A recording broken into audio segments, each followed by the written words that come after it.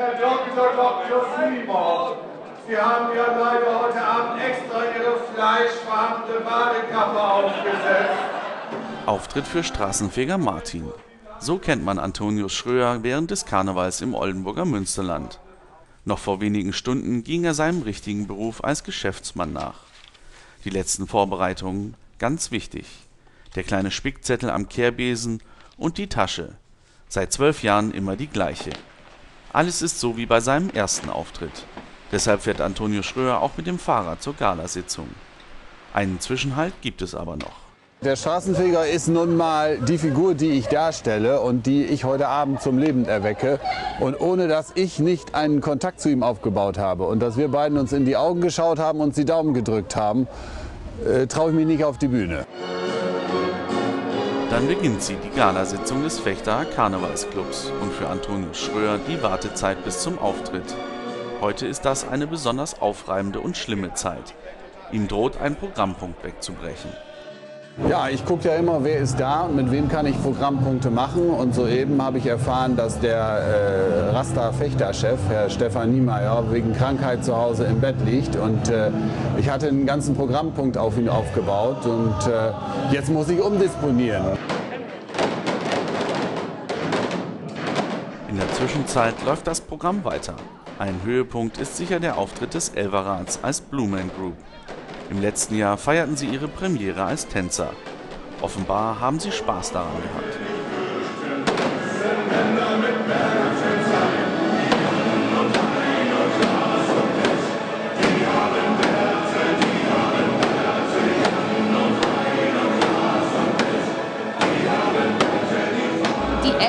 Elberräte, da muss man immer noch mal ein ganzes End zurückschrauben, was die dann können.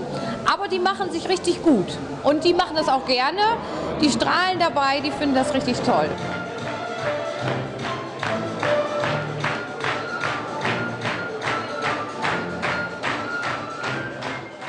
Das Tanzmariechen des VCC ist seit 2002 die 16-jährige Marie-Louise Nigrin. Sie tritt unmittelbar vor der Büttenrede des Straßenfegers auf.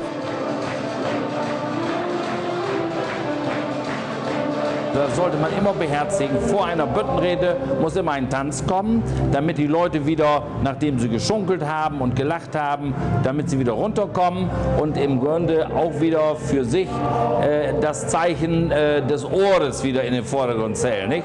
Vom Auge aufs Ohr ruhig zuhören können. Gegen 10 Uhr ist es dann endlich soweit.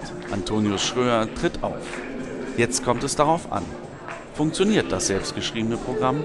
Thema heute die Klinikkrise im Oldenburger Münsterland und ein Rettungsplan für Weihbischof Timmer Ebers. Hilfe für den Kirchenmann in Not.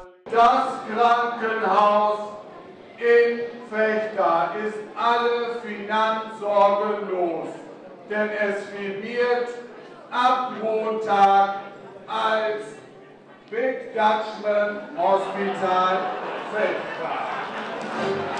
So hat er für jedes Krankenhaus einen Sponsor gefunden. Dann das nächste Thema. Basketball und Rasta Fechter. Zum Glück für ihn übernimmt Silvia Niemeyer die Rolle ihres Mannes, des Präsidenten des Clubs. Sie sorgt für die Musik, während die drei neuen Cheerleader tanzen.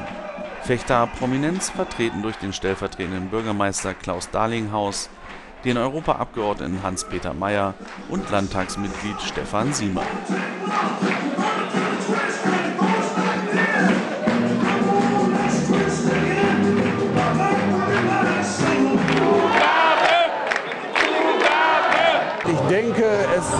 Ganz gut gelungen. Ja, also wenn ich dann auf der Bühne bin, dann versuche ich natürlich alles zu geben. Und dann geht sie langsam zu Ende, die erste Galasitzung des Fechter Karnevalsclubs. Ein Jahr Vorbereitungen haben hier ihren Höhepunkt gefunden. Das Drehbuch hat funktioniert. Am 2. Februar veranstalten die Narren dann ihre zweite Galasitzung.